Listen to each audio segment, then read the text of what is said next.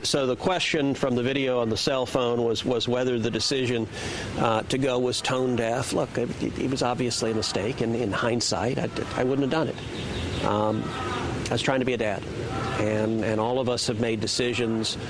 When you've got two girls who've been cold for two, two days and haven't had heater power, and they're saying, "Hey, look, we don't have school. Why don't we go? Let's get out of here." I, I, think there are a lot of parents that'd be like, all right, let me, if I can do this, great. That's what I wanted to do.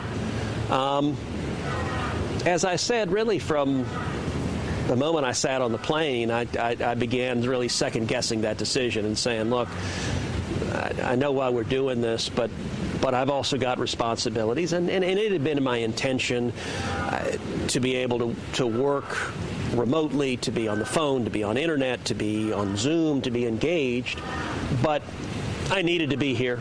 And, and, and that's why I came back. And then as it became a bigger and bigger firestorm, uh, it became all the more compelling uh, that I needed to come back because our priority should be fixing this problem and making sure it doesn't happen again.